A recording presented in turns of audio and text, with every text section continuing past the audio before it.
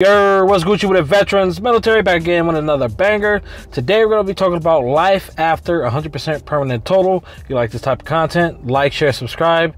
Uh, let's get it. Uh, so first of all, once I we'll just go by my you know personal experience. You know, once I got 100% permanent total, what did I do? First thing I did was make sure I take care of them student loans, baby. Because I'm about to be no peasant having these student loans affect my credit. And if you're one of those veterans who have children utilizing student loans, you, you're using student loans, maybe, I mean, not so much your spouse, but if you or your children are utilizing federal student loans, and your children's student loans are under your name, once you get 100% permanent total, as well as there's other uh, classifications or um, criteria. You don't have to be 100% permanent total, but there are some uh, different criteria needed for uh, the uh, you know that program if you're at 100% permanent total, whatever case may be. But hey, completely wiped, wiped. So hey, I got a bat, I got my second master's degree completely free, completely taken care of, as well as I think I took out a student loan or two while I was active duty, but all my student loans are gone. What's the next thing I did? Hey, you know, hook the spouse up. I'm like, hey, you know, he wants some benefits too, baby. She's like, yes, yes, sir. She's like, yeah, daddy. I'm like, I got you, baby girl. I got you. So she was already in college. Took care of her through the Chapter 35 Dependent Education Program. The VA will pay your your dependents, spouse, as well as your children, a stipend to pretty much go to college. They'll pay them monthly as long as they're in the in as long as they're attending classes, whether it be in person or digitally. Now, you'll you want to definitely take advantage of it. Go in person, you get the max amount, which is about 15, 1400 bucks, 14 to 1500 bucks. Hey, that's money in the bank. And if your spouse or your children are in school right now, or you know they've been in the school for like the last year, couple of months, you get 100% permanent total Obviously, your effective date may be a couple of months, maybe a year or two prior to that date. And what you can do, go to that school, talk to them like, hey, I'm 100% veteran. I'm trying to utilize my Chapter 35 educational benefits for my spouse, for my children. Okay, cool. Really, it's just a, it's a simple process. It may take some time, but it's a back certification process with the school.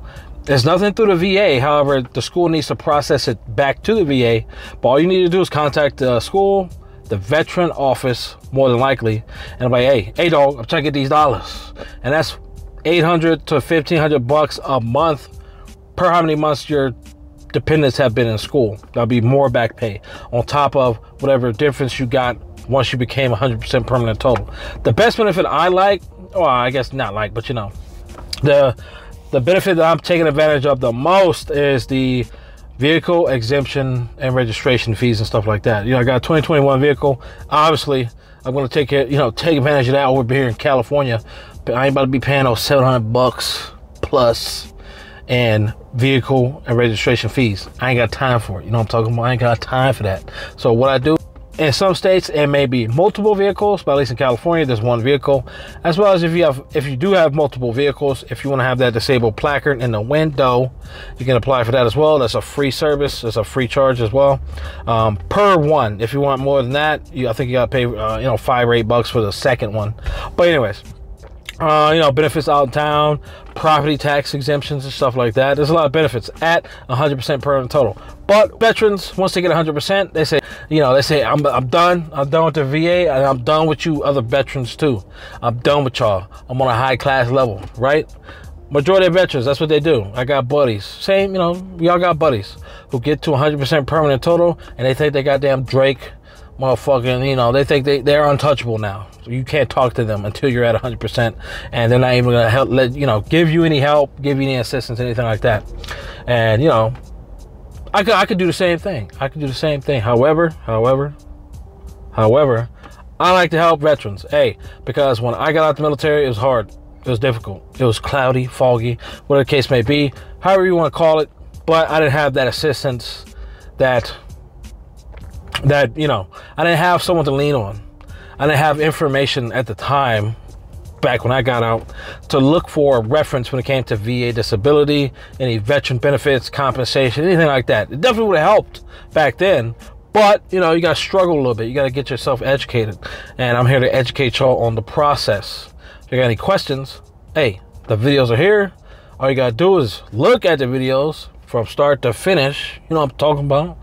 Uh, help your boy get some watch time, help y'all get educated, bring y'all much closer to 100% permanent total, whatever your goal is. Not every veteran is going to be 100%, but not every veteran needs to be at a 0% or non compensatable or not even service connected.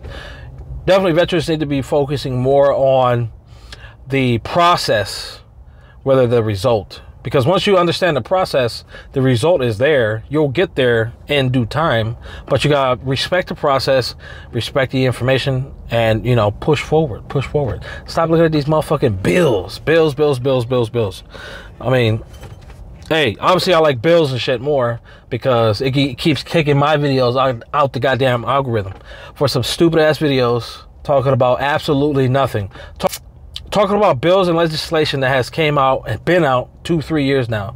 But what y'all do, y'all flock to that video, you know, on certain creators' channels. Hey, hey, ain't knocking him. I ain't knocking him. He got the views. I wish I got 45,000 views on one fucking video talking about the same thing multiple times. Every two weeks, I'm going to repost the same video.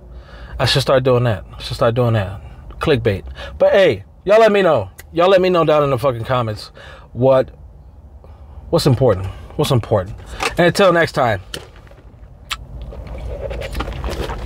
pertaining to anything VA disability, veteran benefits, motherfucking military chose, definitely military. Y'all need to start educating yourself now because it'll put you in a better position once you do get out. So you're not getting to the end, EAS, because the military is going to work you until that very last day and then you're fucking broke homeless don't know what the fuck to do ain't got no benefits va claims not in you have no job lined up you don't know how the gi bill fucking works. Get educated. Focus. Realign yourself. Read the cfr 38 look at videos that are educational not clickbait. And until next time this fucking debo out. Fuck y'all. Eat ass